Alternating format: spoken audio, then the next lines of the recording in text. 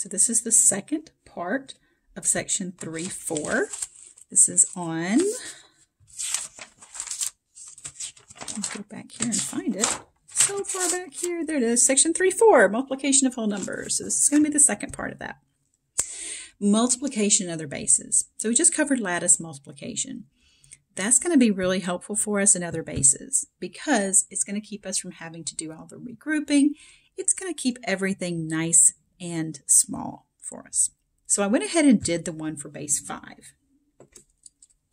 So the one for base 5, if you look closely at it, let's go through where all these numbers came from because this looks like a hot dumpster fire, right? Because you're like 4 times 2 is 13. No. Remember, this is base 5.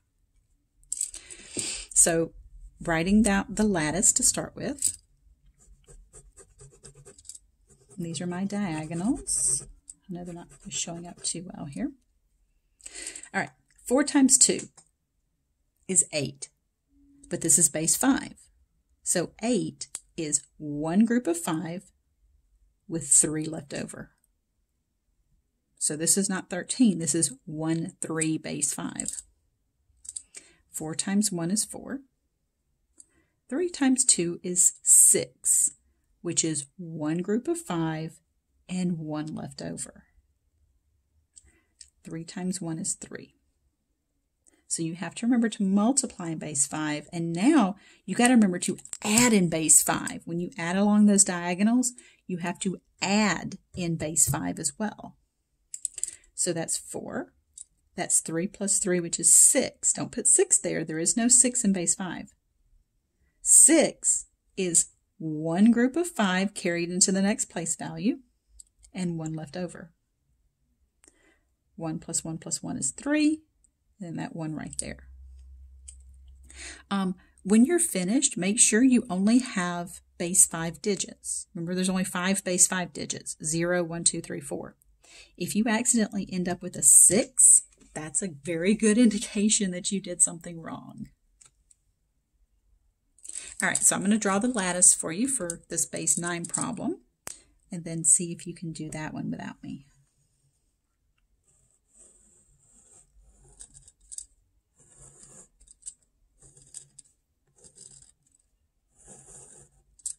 So we have 8, 7, 1 times 25 diagonals in there.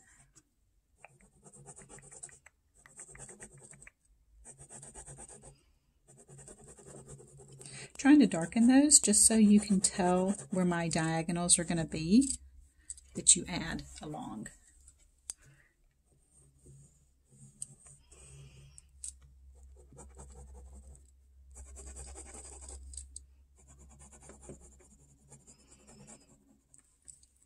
All right, all this is in base 9.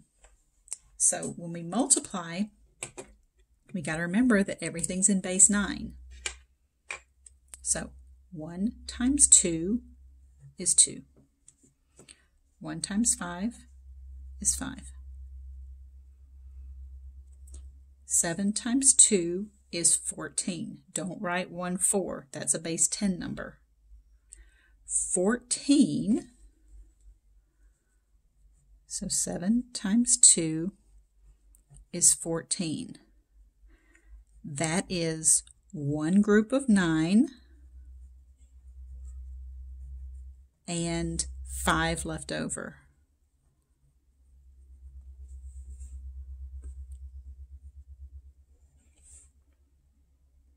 So 7 times 2 is 14, is one group of 9 and 5 ones. That's a base 10 number. So I have to convert it to a base 9 number. 7 times 5 is 35. 7 times 5 is 35. How many nines are in 35?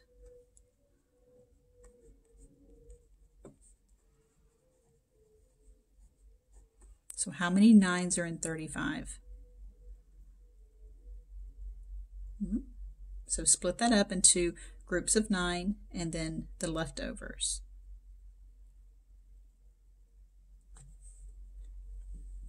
So it looks like three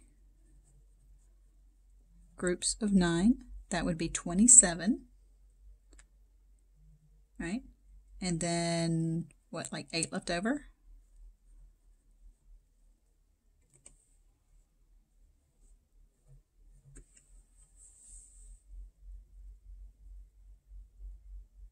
I'm giving you a second to kind of process all of this. 8 times 2 is 16. 16 is one group of 9 with 7 left over. 8 times 5 is 40. 40 is four groups of 9. 4 times 9 is 36 with 4 left over.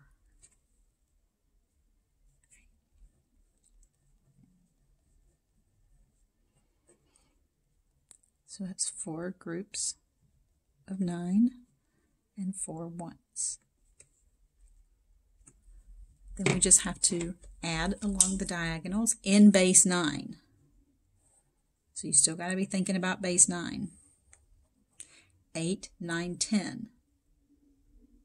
That's one group of 9 with one left over. Let's see, 5, 6, 7, 8, 9, 10, 11, 12, 13 is 9 and 4 left over.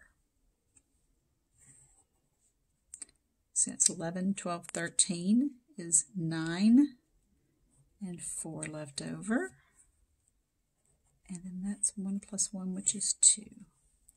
So my final answer here is 2, 4, 4, 1, 5, base 9. Hope you guys can tell this. Those are fours. So 2, 4, 4, 1, 5, base 9.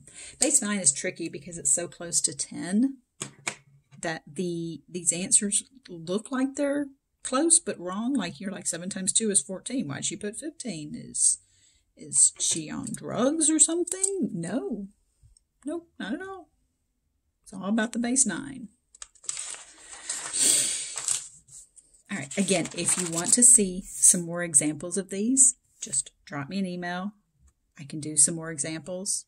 Um, but I didn't know if this would be enough to try to get you know at least get the ball rolling and, get you trying to figure out how these how these work. Um, mental multiplication techniques. Now remember, this means you're finding the exact answer by using doing it in your head. So, front end multiplication. That one is taking something like 36 and splitting it up. This is a distributed process. This is basically using the distributive property and taking 8 times 30 and then 8 times 6.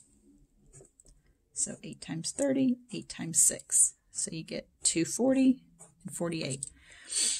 That's actually how my brain works with this. If I have to multiply something like that, I'll do 8 times 30 and then 8 times 6 and add them together. Same thing here. I'll do 3 times 50 and 3 times 2. You can do something called compensation. So, like 12 times 9, you can do 12 times 10 and then subtract 1, but you're not subtracting 1, you're subtracting one group of 12. Eh, this one this one doesn't really work for my brain all that well.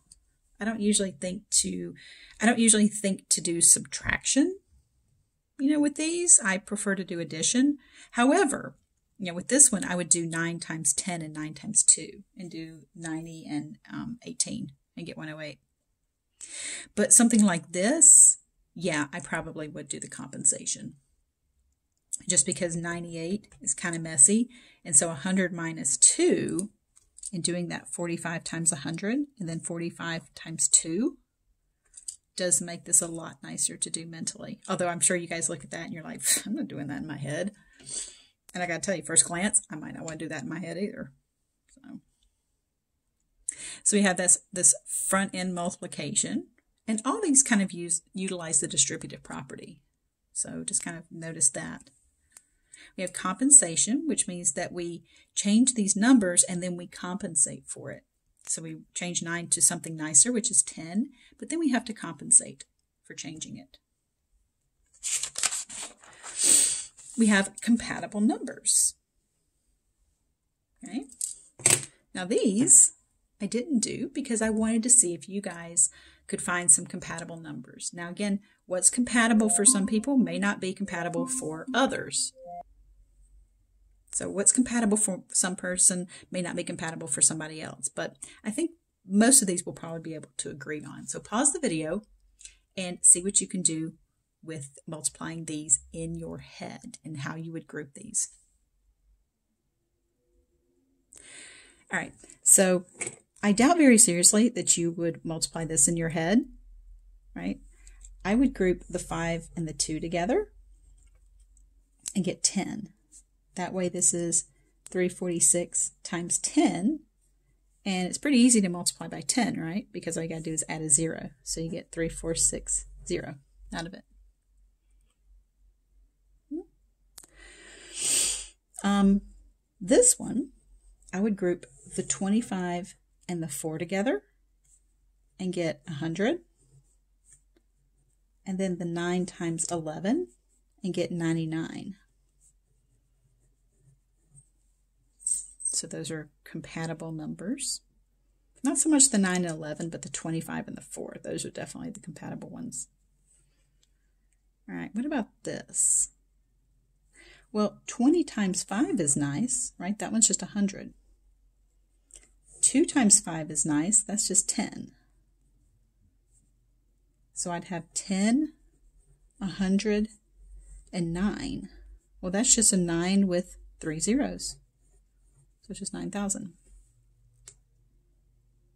So all these techniques are geared toward multiplying bigger numbers. Um, one thing that I felt was missing from this um, from this textbook was what about techniques for learning your basic multiplication facts? You know, it's it's all geared toward these bigger numbers here. But when it comes to your basic multiplication facts, everything that we're doing here assumes that the kids know their basic multiplication facts. And I'm here to tell you that that is going to be a challenge in and of itself because they're going to struggle with it. Um, it's not so much about just rote memorization. That will happen eventually. But it's worth noting that there's a certain core here. And this is, again, this is not necessarily um, how everybody believes. Some people, some teachers believe that you just have to memorize them and go on with your life.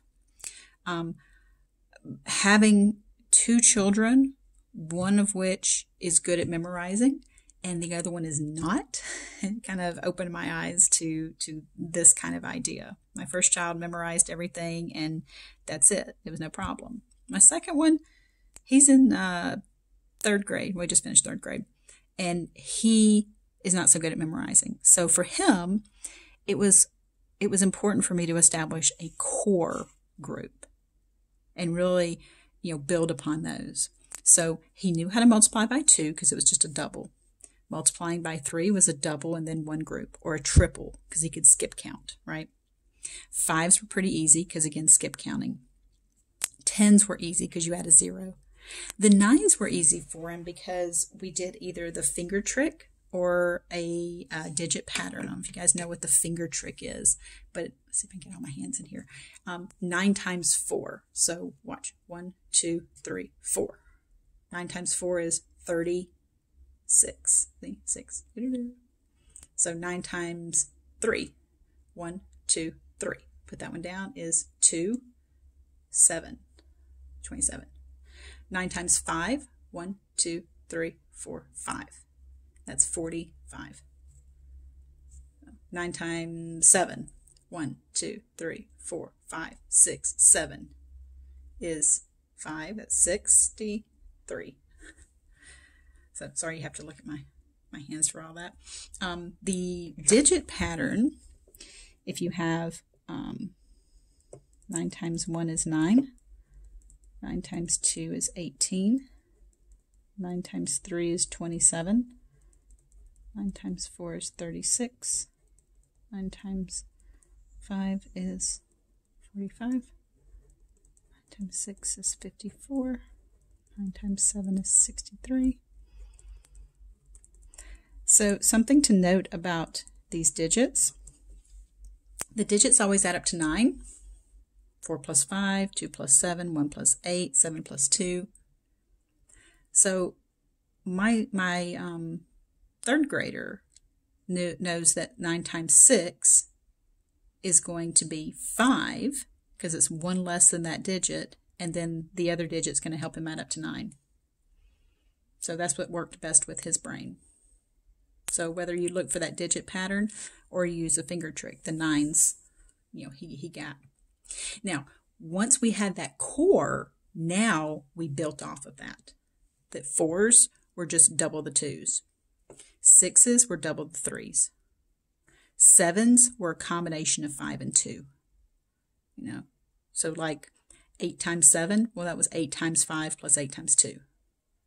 And while that may sound complicated, that is what worked best for him. The eights were the fives and the threes. The 11s were 10 and 1, 12 is 10 and 2. So if he had to do 9 times 12, he would do, oh, hey, look at that. He would do 9 times 10 and 9 times 2 and add those together. So while I realize that this may seem, you know, a lot more complex, when you have different learning styles, you have to be able to meet the kids where, where they are. You got to meet them where they're at. And you got to have something to help those because if they don't know their basic multiplication facts in third grade, and let's say that you're teaching fourth grade, forget it. They are not going anywhere beyond third grade without knowing these basic multiplication facts.